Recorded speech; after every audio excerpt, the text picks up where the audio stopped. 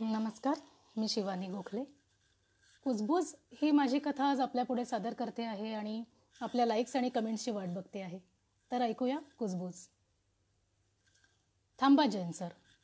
जिने उतरणाऱ्या जैन सरांना दीप्तीने बोलावलं. प्लीज वर या ना इथेच हॉलमध्ये बसून बोलूया. जयंत सर पुन्हा हॉलमध्ये आले. काव्यप्रेमी मंडळाची मीटिंग आटोपली होती. मेंबर्सची पांगापांग झाली होती आणि दीप्तीला हवी तशी शांतताही मिळाली होती. बरेच दिवस बघते मी जयंत सर. तुम्हाला काहीतरी बोलायचं आहे माझ्याशी.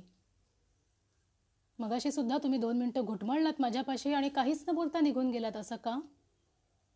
सांगा ना सर. नाही नाही गं. तसं काही नाही जयंत सर उठून जायला लागले. नाही सर बसा. प्लीज बोला माझ्याशी. मला माहिती आहे तुम्ही कुठल्या विषयावर बोलणार आहात. मलाच तुमच्याशी बोलायचं आहे त्या विषयावर. अगं पण जयंत सर थोडेसे बावचळलेच. आशुतोषबद्दलच बोलायचं आहे ना तुम्हाला सर?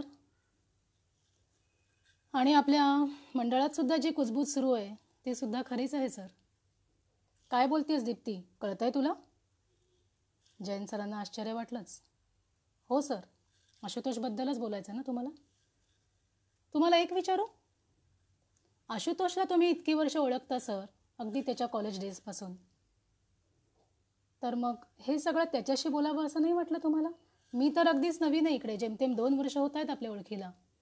अगं त्याच्याशी काय बोलायचं? तो तर तो तर पुरुष आहे नाही का जैन सर? तो पुरुष आहे आणि मी स्त्री आहे. तसं नाही दीप्ती.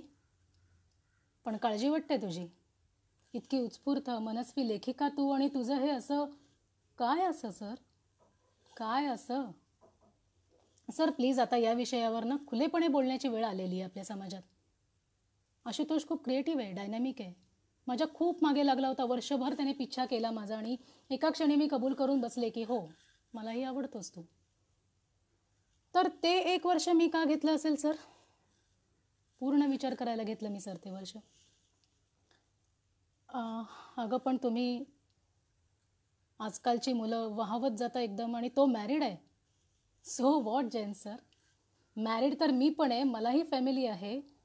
पण तुझे फोटो बिटो असतील त्याच्याकडे तर तो कदाचित भविष्यात तुला I mean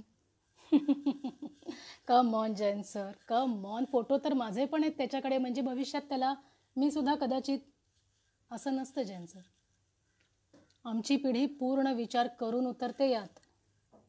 उद्या भविष्यात त्यालाही धोका आहेच ना माझ्यापासून. फक्त तो पुरुष आहे म्हणून कसाही वागू शकेल आणि मी स्त्री आहे म्हणजे निव्वळ सहनच करत राहील ह्या विचारांना काही अर्थ नाही आता. आणि आम्हाला हवं होतं दोघांनाही हवं होतं हे सुख सहवासाचं. वैचारिक बौद्धिक मानसिक सहवासाचं सुख आम्हाला दोघांनाही हवं होतं. या गोष्टीसुद्धा महत्त्वाच्या आहेत ना सर? आणि आम्ही दोघांनी दिला तो अधिकार स्वतःला. कोणाकडून तो घ्यायची आम्हाला गरज वाटली नाही. आमच्या आधीच्या पिढ्यांकडून नाही आणि नंतरच्या पिढ्यांकडूनही नाही. आधीच्या पिढ्यांनी आम्हाला विचारून एन्जॉय केलं नव्हतं नंतरच्या पिढ्या आम्हाला विचारून काही करणार नाही आहेत आणि या गोष्टी आपल्या समाजात आधी नव्हत्या आणि आत्ताच त्या उफाळून वर आल्या आहेत असंही नाही. आता त्या लक्षात यायला लागल्या आहेत इतकंच. उलट आमची पिढी अधिक डोळसपणे विचार करून यात उतरते असं मला वाटतं. निदान माझ्या लेवलला मी विचार केलं तर. हां कदाचित आता आमच्या समवयीनांना आम्ही उत्तर देणं लागत असू. म्हणजे आता आशुतोषी पार्टनर आहे. तिच्याबरोबर त्याचे वेगळे इशू आहेत. माझा नवरा. ज्याच्यासाठी लॉयल्टीची व्याख्या फक्त मला लागू होते. लॉयल्टी हा शब्द त्याच्यासाठी बनलेलाच नाही आहे सर आणि हे सगळं असं आहे आमच्या फॅमिलीजमध्ये म्हणून आम्ही या संबंधात आहोत. असा अर्थ काढू नका सर आमच्या नशिबाने आम्हाला एक चान्स दिला आणि आम्ही तो घेतला. इतका आणि इतकाच अर्थ घेऊया त्याचा. मग समाज काही का म्हणेना अनैतिक आणि ऑल वी डोंट केअर आम्हाला एकच आयुष्य मिळालं आहे आम्ही ते जगतो आहोत आमच्या विचारशक्तीने.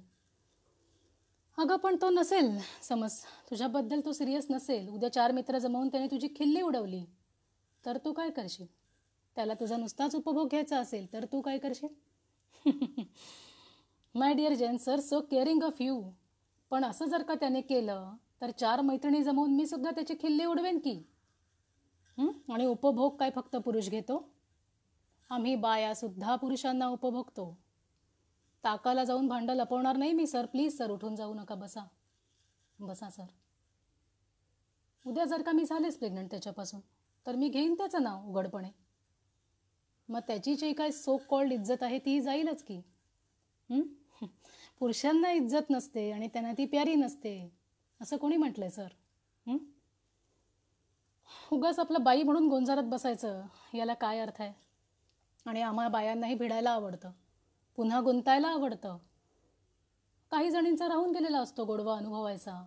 मग आयुष्याच्या पुढच्या टप्प्यात मिळाला असा काही चान्स तर बाया घेऊ लागल्यात सर. बाया तो चान्स घेऊ लागल्या आहेत. हा संदेश समाजापर्यंत पोचायला हवा आहे आणि इतकं सगळं बदलत आहे आपल्या आजूबाजूला तर बायकांच्या मानसिकतेतही बदल होणारच आहे. तो कसा थांबणार? पण दीप्ती तुमच्या घरी कळलं तर? आणि तुमच्या घरापर्यंत ही कुजबूज पोचली तर? सांगितलं ना सर? आम्हालाही भिडायला आवडतं. तेव्हाचं तेव्हा. तर ही होती कुजबूज. माझ्या कथेतली कुजबूज. तुम्हाला कशी वाटली ते जरूर कळवा. आणि अशा छान छान आणि वैचारिक ट्विस्ट देणाऱ्या कथा दर सोमवारी दुपारी दोन वाजता तुमच्यापुढे घेऊन येणार आहोत याच ठिकाणी. तुमच्या कमेंट्स आणि लाईक्सची वाट बघते आहे. पुन्हा भेटूया. तोपर्यंत